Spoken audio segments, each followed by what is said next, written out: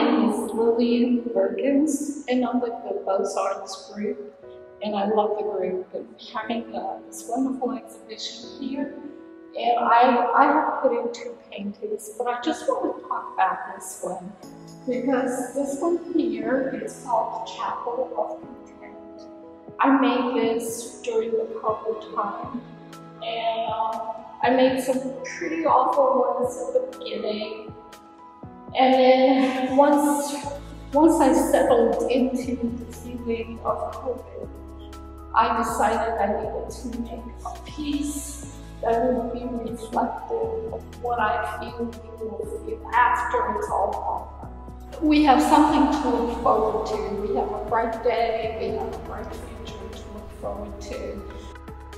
Using acrylics in my process because I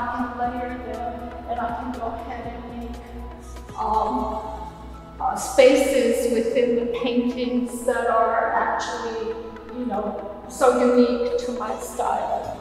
Um, and this was, this piece here made me feel more at peace with the current situation and where I am as human beings. And it's called Chapel of Content.